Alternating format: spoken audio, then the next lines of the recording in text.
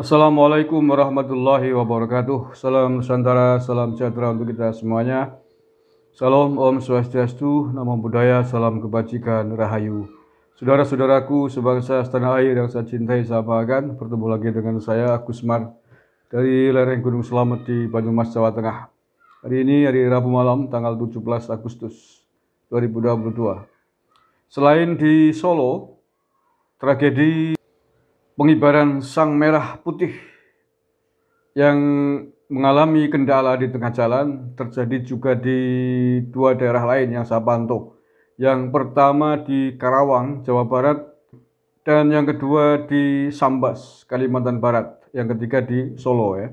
Kalau di Karawang dan di Sambas, walaupun macet di tengah jalan karena talinya nyangkut ke tiang bendera, tapi kemudian ada dua orang yang menjadi sosok pahlawan penyelamat dengan memanjat tiang bendera dan kemudian berhasil dikibarkan.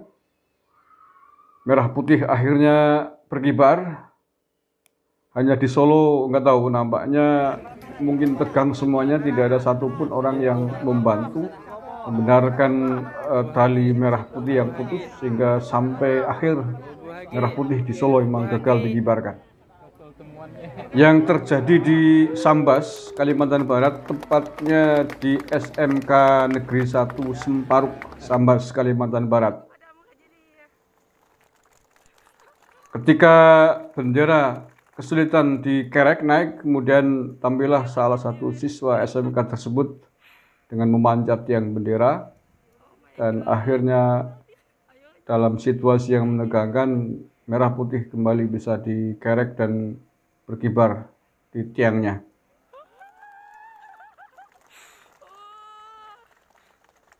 Hmm.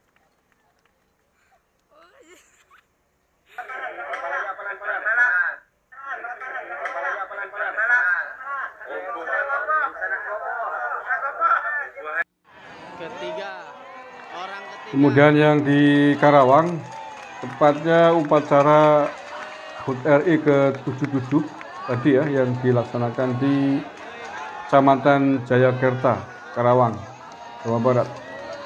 Nah ini aksi heroiknya sangat menarik karena yang memanjat tiang bendera adalah petani yang mungkin kebetulan berdekat dekat di sebelahnya ya.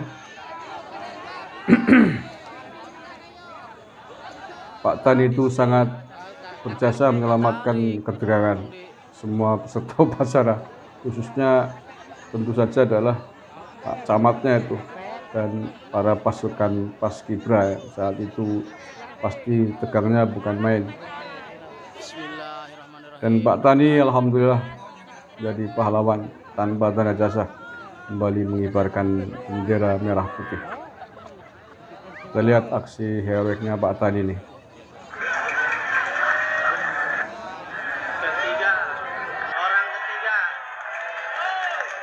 Oh namanya ini orang ketiga yang sebelumnya berarti sudah ada yang naik tapi gagal ya.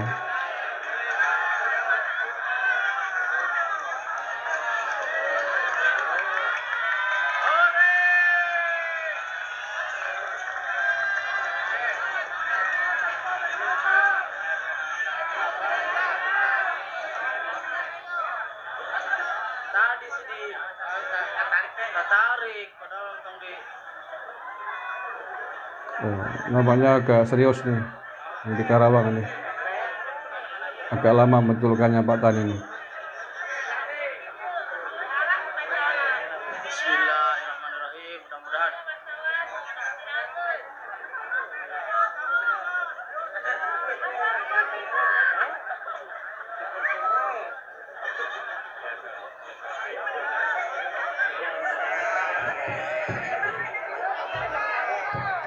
Tegang juga nih. Cukup lama nih Pak Tani, tapi alhamdulillah pada akhirnya berhasil.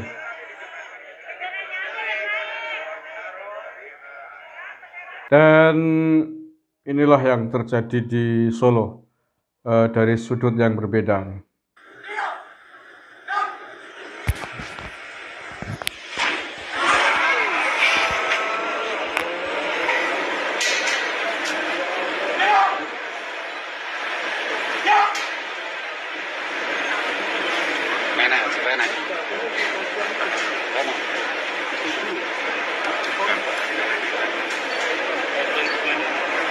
sebenarnya pada ketika penegangan itu ada salah satu orang yang ingin nyolong tapi nggak tahu kemudian yang bukan apa gimana itu omah yang akhirnya dibiarkan mah juga pasukan pas kemudian untung aja nggak semampu tuh, itu tidak pingsan.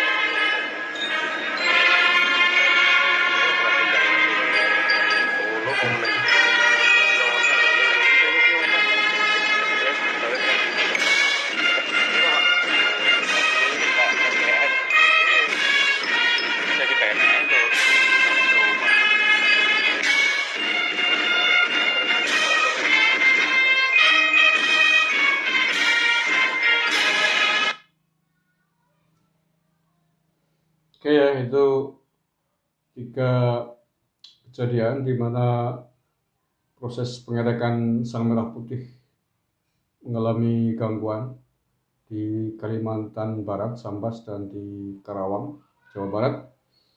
Eh, walaupun terjadi error di tengah jalan, talinya putus, tetapi alhamdulillah berkat eh, aksi heroik Pak Tani dan seorang siswa, sang merah putih kembali bisa dikibarkan. Dan yang di Solo sampai akhir merah putih gagal dikibarkan. Oke, mudah-mudahan ini menjadi pelajaran bagi kita semuanya ke depan untuk lebih teliti dan lebih hati-hati lagi. Untuk segenap pasukan paskibraka di mana benar berada tetaplah semangat. Kesalahan tentu saja bukanlah hal yang disengaja dan manusiawi. Yang penting kehati-hatian, teliti, disiplin adalah kuncinya. Ketika sudah melaksanakan berusaha maksimal, toh di tengah jalan ada gangguan, itu kita pasrahkan kepada Yang Maha Kuasa. Terima kasih. Wallahualam Assalamualaikum warahmatullahi wabarakatuh. NKRI harga mati.